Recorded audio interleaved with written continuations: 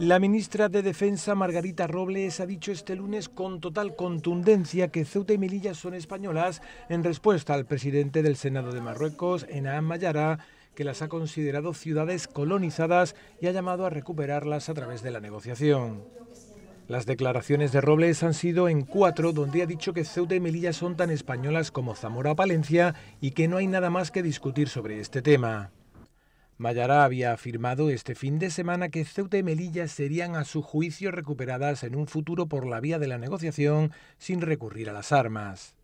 Así las cosas, Margarita Robles ha recordado que estuvo recientemente en Ceuta y Melilla y que se siente muy ceutí y muy melillense porque se siente muy española.